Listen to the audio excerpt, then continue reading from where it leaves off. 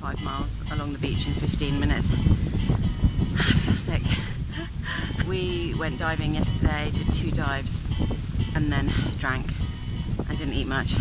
Anyway, so feeling it this morning running on the sand, really tricky. But 115 days to go until the Virgin London Marathon, and I'm in Belize.